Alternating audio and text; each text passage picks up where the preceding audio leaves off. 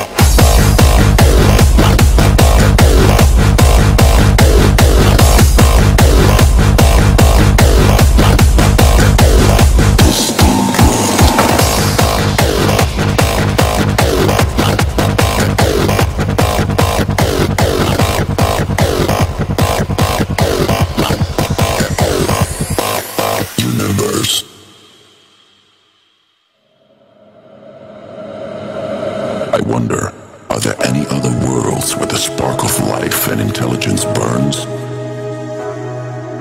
Is it possible that, as you look up at the same stars on a warm summer evening or a snowy winter midnight, and wonder if humanity is alone in the universe, at that same instant, someone else on a distant world is looking up at the same sky and wondering the very same question?